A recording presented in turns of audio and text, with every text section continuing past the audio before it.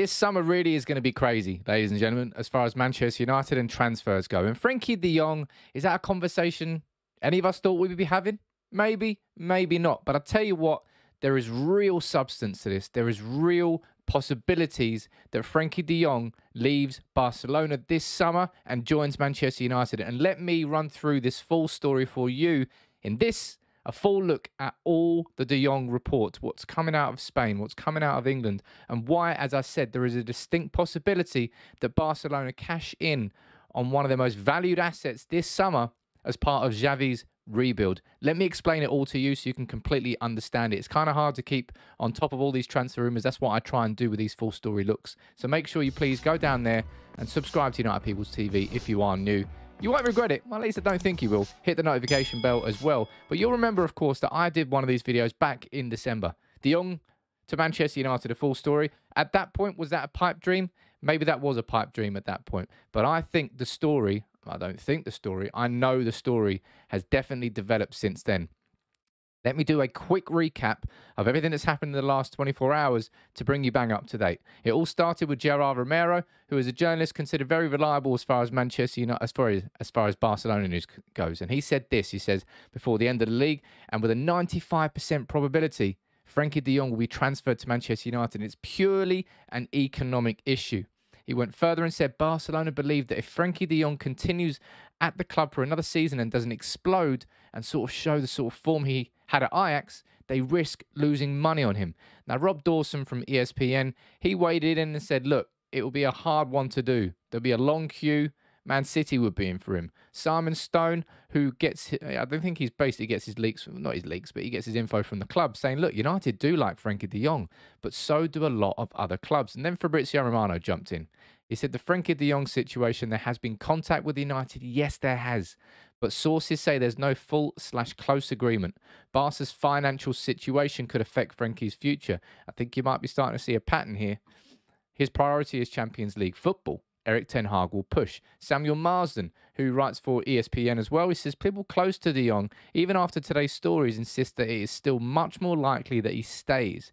It's the club who probably needs money before June the 30th.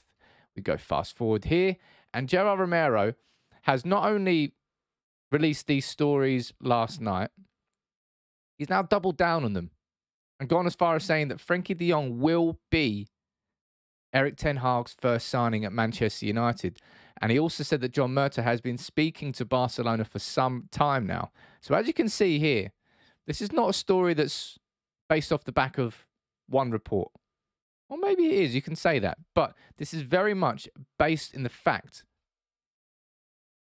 that Barcelona are in a real financial crisis right now.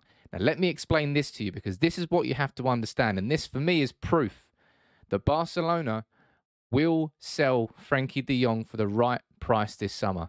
As I said, maybe it was a bit of a pipe dream to think that he could have come in in January and look, Rangnick didn't get any backing, so the club didn't trust him. But the, this idea there that John Murtough has been in contact with Barca for months, I like that idea. That's called foresight. That's called thinking ahead. That's called, okay, we're going to get Erik Ten Hag as our manager. Hmm, what midfielder would he like? it was always going to be Erik. It was always going to be Frenkie De Jong top of that list for Erik Ten Hag. But look, fast forward into what ESPN are also saying here. This is Rob Dawson doubling down on what he's saying that it'll be an uphill battle for Frenkie De Jong. He's saying sources have told ESPN that Ten Hag is not a particular pull for De Jong. I would question that. I think their relationship is very strong and their bond is very strong. Goes one step further and says sources have told ESPN that De Jong's preference is to stay at Barcelona, but if he was told he was surplus to requirements at, at Camp Nou, he would prefer to join a club where he would play Champions League football. Now, in that situation, it comes down to whether or not you think Champions League football or reuniting with Erik Ten Hag will be more important for Frenkie de Jong. Now, you can let me know what you think about that in the comments, but that's a real one. We don't know which is more important at this stage anyway. Let's dive into this even further, though. This is from Dermot Corrigan for The Athletic, saying exactly the situation as it is. Barcelona are at a bit of a crossroads with Frenkie de Jong. Now, this might come as a bit of a surprise to you. It came as a surprise to me when I read it. Look at that. De Jong has only completed 90 minutes in basically a third of the games under Xavi he's far from this indispensable, irreplaceable player. In two thirds of the games, he's taken off. If we go down here and we see this, this is this is also an extremely important thing to understand in this whole De Jong situation, is the political aspect of it. The club hierarchy can see that it, it is politically acceptable to sell De Jong. Cashing in on other players who have a market like Pedri or Gavi or Araujo or Fati would cause uproar. But someone like De Jong would be someone that because that's where it's different. You know, you get you get um, elected presidents in Barcelona. They have to favour popular situations. And it's, it's it's not just a football club. It is more than a football club. It's a bloody political party at the same time, and a badly run one like that. But Barcelona this summer are going into Xavi's first summer full season as manager, and he wants to rebuild this club. He wants to rebuild, and he's done a very very good job in this season so far. But Barcelona are not the all spending powerhouse that they used to be. It's a big reason why they were pushing for the European Super League. And Xavi has explained that himself. This is he was he was questioned here. This is before Haaland joined City, of course. He's and because Barcelona were being linked with the move for him. I can't remember. I think it was their president said, "Look, we can get we can sign Bar- we can sign Haaland this summer," and all of us were like, "Really? Can you?" This is what Xavi said. He said it's very difficult because of the economic situation, and we go down to the bottom there if you if what you say happens and Barcelona don't sign Haaland, it would have been because of financial issues. And if we look into these financial issues here, this is official.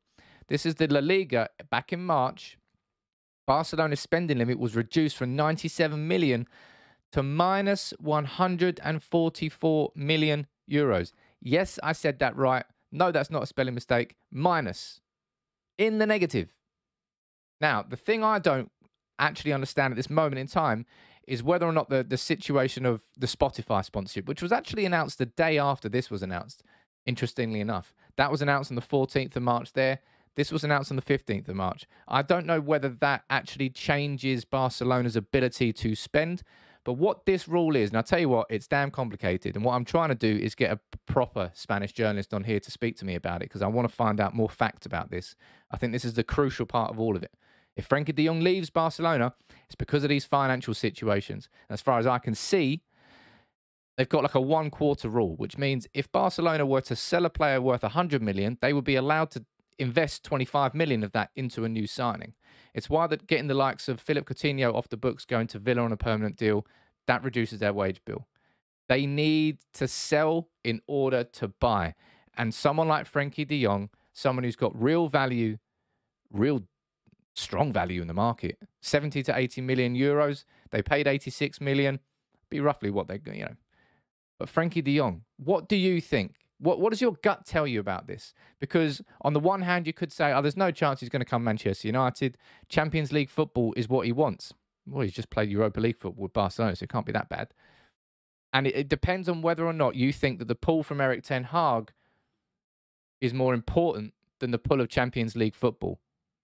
That's the thing that I can't say with any confidence yet.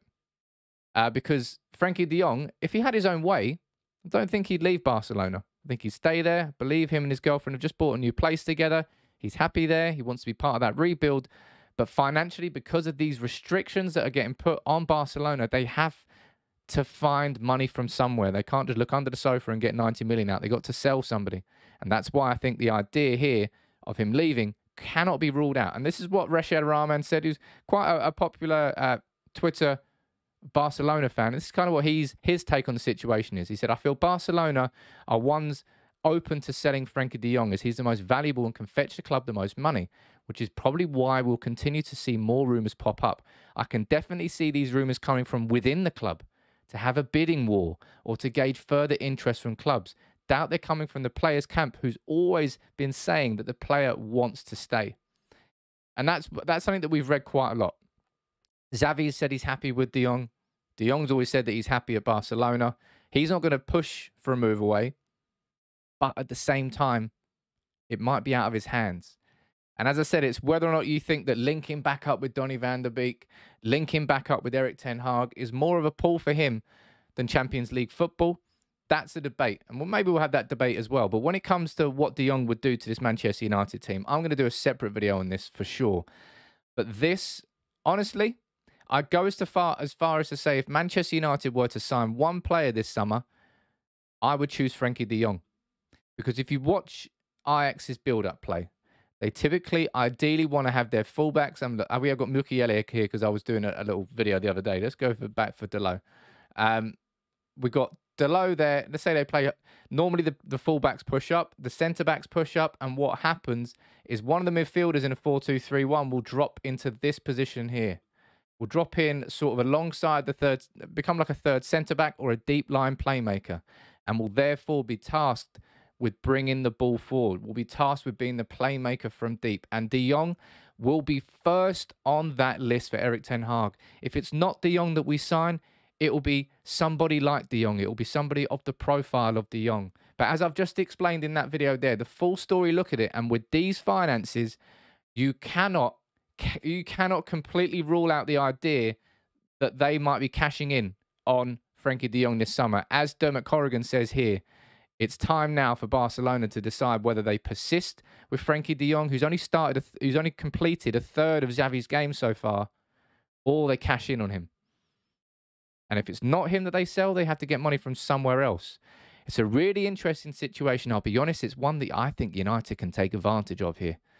Frenkie de Jong. I thought, as I said, if I if I rewind a few months to when I did this video here, maybe I was a bit dreamy. Maybe I was. I mean, I was dreaming. That was a pipe dream.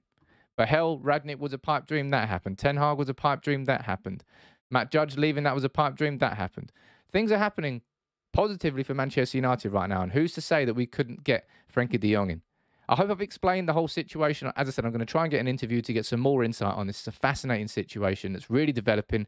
Kind of hard to understand, but I hope you have learned something by watching this video. If you have, please make sure you drop a like on the video. It will help United People's TV. And subscribe if you're new. But Frenkie de Jong to United. A, do you think it will happen? And B, do you think it will be a good signing? Because I think it would be an incredible signing.